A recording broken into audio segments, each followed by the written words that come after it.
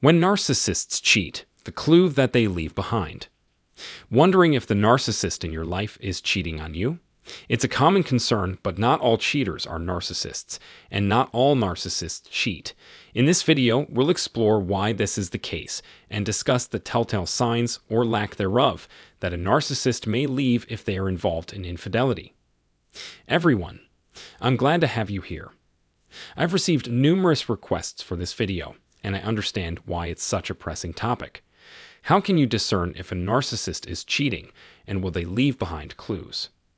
The truth is, not all narcissists will leave noticeable clues, and not every narcissist is prone to cheating. To navigate this complex issue, we'll dive into various factors that play a role in their behavior. This is indeed a sensitive topic, but it's essential to address it from a different perspective. I've covered related subjects before, but this time we'll approach it in a fresh and insightful way. If you find this video valuable, please consider hitting the like button. For more insights into these intricate topics, subscribe to our channel, and remember, sharing is caring. If you know someone who's grappling with similar concerns, feel free to pass along this video. Now let's unravel the complexities of narcissism and infidelity. When they cheat, do narcissists unintentionally leave behind clues? Though not always evident, infidelity frequently sends out warning signs. When you have a feeling that something is off, follow your gut. Often, your intuition acts as a beacon, warning you of possible wrongdoing. However, it's important to recognize that not everyone leaves behind clear evidence.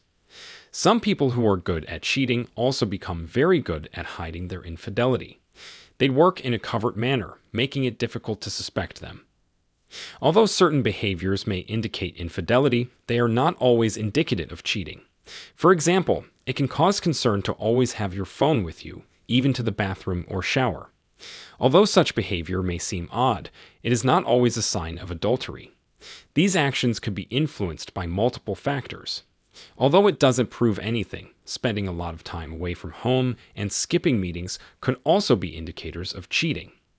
Intimacy cessation is another possible sign, albeit not always a conclusive one. It's critical to stress that you are the only one who truly knows your partner. The signs listed above are not all that there are. Your perception of your relationship goes beyond what others see.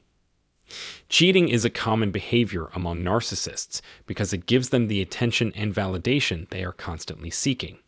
The details, however, are contingent upon the personality traits of the narcissist and their specific reasons for seeking out supply. Some narcissists are primarily interested in being liked and want companions who are understanding and caring. Others might be motivated by the foreplay, intrigue, and suspense that precedes sex. What drives them are the attention they receive and the freedom to play any role they want. Perhaps the motivation for yet another narcissist is power and attention. Not every narcissist cheats, despite the fact that many do. Many factors influence the probability of infidelity, including one's own values. People who don't think highly of themselves may cheat in order to get approval from others, believing that their current relationship isn't fulfilling them. Their personality also has an impact. In some cases, they might go back to their old sources of supply because it's easier and meets their attention seeking needs. Narcissists are prone to comply if their former partner or new one can only offer validation through sexual means. Never forget that a narcissist cares more about themselves than how their actions affect you. They are driven mainly by their own needs. Their quest for adoration and attention is solely focused on satisfying their cravings. It has nothing to do with you, your value, or your attributes. If they turn to cheating, it could be a means of obtaining fulfillment or a kind of punishment, all influenced by their deep seated lack of self worth. It's important to understand that narcissists are not naturally driven by sexual desires. Instead, they get their energy from the excitement, approval, and emotional validation that come before any kind of close relationship. They find little appeal in the act itself.